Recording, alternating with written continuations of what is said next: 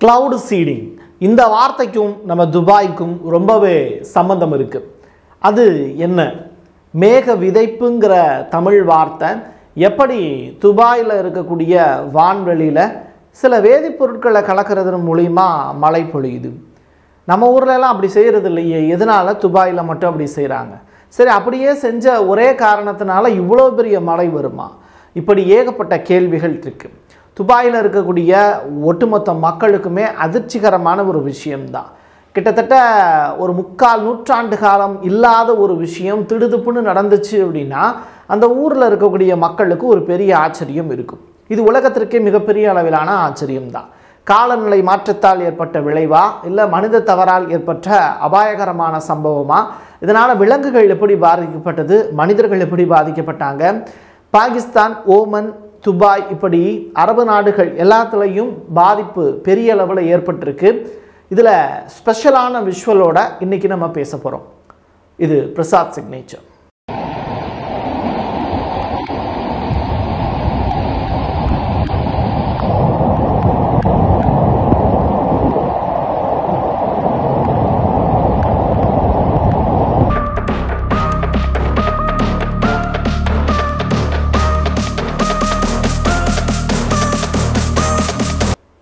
துபாயில் ஏற்பட்ட வெள்ளப்பெருக்கு எல்லாமே உங்களுக்கு தெரிஞ்சது தான் அது ஒரு டெசர்ட் பாலைவனம் இருக்கக்கூடிய ஏரியா அந்த பாலைவனத்தில் ஒரு புல் பூண்டு மலர்றது கூட பெரிய அளவிலான விஷயம். அதனால தான் அங்கே எண்ணெய் கிணறுகள் அதிகமாக இருக்குது அப்படிங்கிறதுனால அதை வச்சு பெரிய அளவில் சம்பாரித்து இன்றைக்கி ஷேக்குகள் எல்லாமே பெரிய அளவில் பணக்காரங்களாக இருக்காங்க. உலகத்தினுடைய பிரம்மாண்டமான கட்டடங்கள்லாம் அங்கே இருக்குங்கிறதுலாம் தனிக்கதை.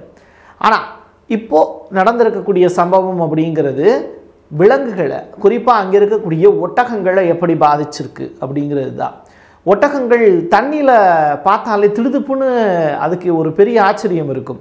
அது மட்டும் இல்லாமல் அதற்கு ஒரு பெரு வெள்ளத்தை எப்படி சமாளிக்கிறது அப்படின்னே தெரியாமல் ஒட்டகங்கள் தடுமாறும். ஏன்னா பாலைவனத்தில் ஒரு பெரும் புயல் அடிக்கும் காற்றடிக்கும் மணல் புயல் ஏற்படும். ஆனால் வெள்ளம் வந்து பார்த்துருக்கீங்களா? பெரிய அதிசயத்திலும் அதிசயம்தான். எகிப்தில் காணான் தேசத்தில் அந்த மாதிரியான வார்த்தைகள் தான் பெருவெள்ளம் ஏற்படும் கடலை வந்து பிளந்தாங்க அப்படிங்கிற மாதிரியான வார்த்தைகள்லாம் சரித்திரத்தில் இடம்பெற்ற வார்த்தைகள். அதை தாண்டி வந்து நிஜமாகவே ஒரு பாலைவனத்தில் ஒரு பெருவெள்ளம் ஏற்படும் போது அங்கே இருக்கக்கூடிய ஒட்டகங்கள் எப்படி திண்டாடி இருக்கும்? விஷுவலாக பார்த்துட்டு வாங்க.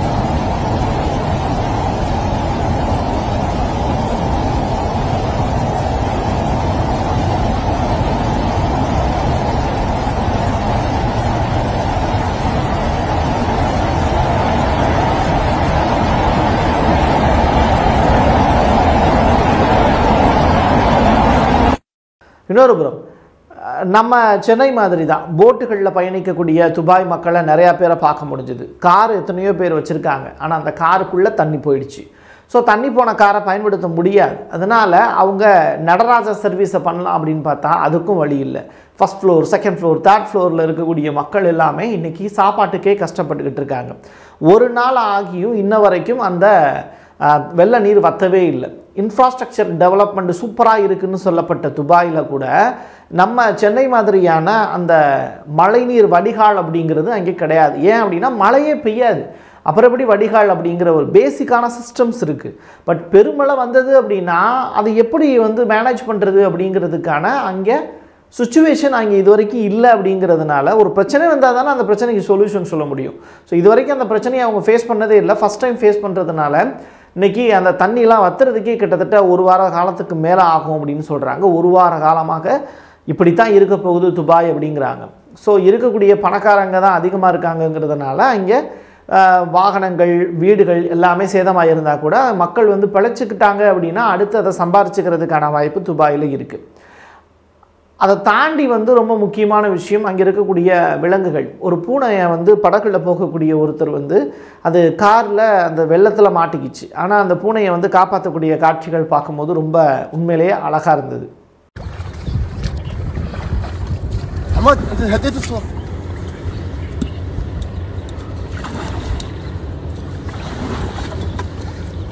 Hey, what, what?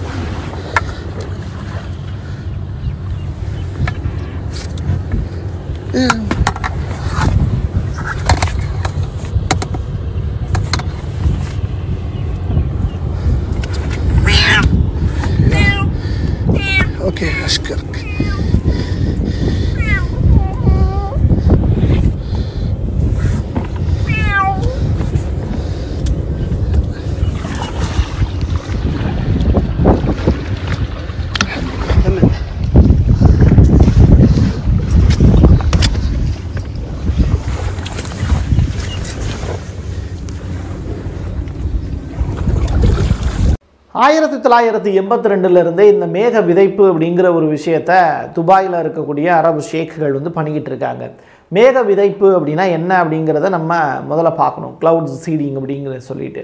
இப்போது நம்ம ஹெலிகாப்டர்ஸ்லாம் இருக்குல்ல ஹெலிகாப்டரில் இந்த ஜிங்க் ஆக்சைடு அதாவது silver iodide and titanium oxide உள்ளிட்ட அந்த வேதிப்பொருட்கள் டைட்டானியம் ஆக்சைடு தான் அதிகமான அளவில் துபாயில் பயன்படுத்துகிறதா சொல்கிறாங்க ஸோ இது விமானங்களில் போய் தூவ முடியாது. ஹெலிகாப்டர் மூலிமா வந்து மேகத்திரள்கள் இருக்குல்ல அந்த மேகத்திரள்களில் வந்து அந்த டைட்டானியம் ஆக்சைடை வந்து தூவிடுவாங்க. தூவினதுக்கு பிறகு என்ன ஆகும் அப்படின்னா அது என்ன மாதிரி ரியாக்ஷன் ஏற்படும் அப்படின்னா நம்ம ஊரில் மழை பெய்யுதுன்னா என்ன ப்ரொசீஜர் அப்படின்னா இரண்டு மேகக்கூட்டங்கள் ஒன்றாக சேரும். மேகம்னா என்ன? நீர்த்திவளைகள் அதிகமாக பனி அந்த அந்த பனித்திவளைகள் அதிகமாக இருக்கக்கூடிய அந்த ஒட்டுமொத்த பகுதி தான் மேகக்கூட்டங்கள். அது அப்படியே போயிட்டே இருக்கும் ஒரு இடத்துலேருந்து இன்னொரு இடத்துக்கு. அப்போது அது என்ன ஆகும் அப்படின்னா ரெண்டு மேகங்கள் வந்து ஒன்றாக ஒன்று சேரும்போது நமக்கு வந்து இடி இடிக்குது மின்னல் அடிக்குது. அதை தாண்டி வந்து பார்த்திங்கன்னா அந்த நீர்த்திவளைகள் வந்து அப்படியே வந்து மழையாக பொழியுது பூமியில். அப்போ நீர் ஆ நீராவியாக மாறி அது வந்து பார்த்திங்கன்னா மேகக்கூட்டங்களாக திறந்து அதில் குளிர்ந்த அந்த ஈரப்பதமான காற்று பட்ட உடனே அப்படியே வந்து உருகி மழையாக பொழிவது தான் இயற்கையோட விதி. இந்த விதியை தளர்த்தி என்ன பண்ணுறாங்கன்னா மேக விதைப்பு அப்படிங்கிறது மேகத்தை விதைக்கிறாங்க. எந்த இடத்துல? பூமியில் விதைக்கிறாங்க. எப்படி விதைக்கிறாங்க?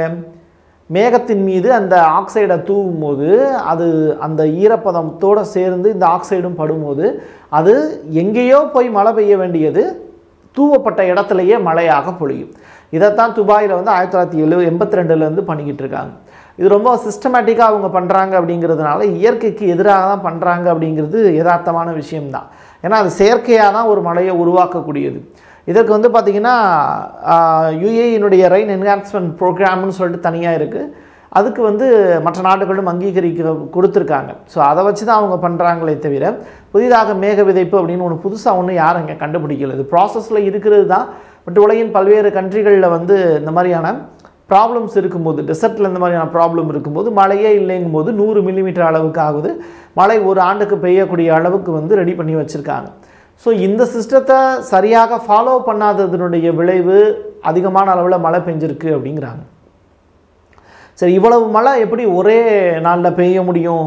அதுவும் புயல் மாதிரி அடிச்சிருக்கே அப்படின்னா எங்கேயோ இருக்கக்கூடிய அரபிக்கடலின் ஓரத்தில் உருவாக வேண்டிய புயலோ அப்படிப்பட்ட ஒரு சூழ்நிலையை தடுத்து நிப்பாட்டும் போது இயற்கைக்கு எதிராக ஒரு விஷயம் செய்யும்போது இந்த மாதிரி நடந்திருக்கு அப்படிங்கிறது தான் வானிலை ஆய்வாளர்கள் இதுவரைக்கும் நான் படித்ததை வச்சு சொல்லக்கூடிய விஷயங்களாக இருக்குது அது மட்டும் கிடையாது. இதை தாண்டி வேறு ஏதாவது காரணங்கள் இருக்கா அப்படின்னு கேட்டால் பாகிஸ்தானில் மழை வந்திருக்கு.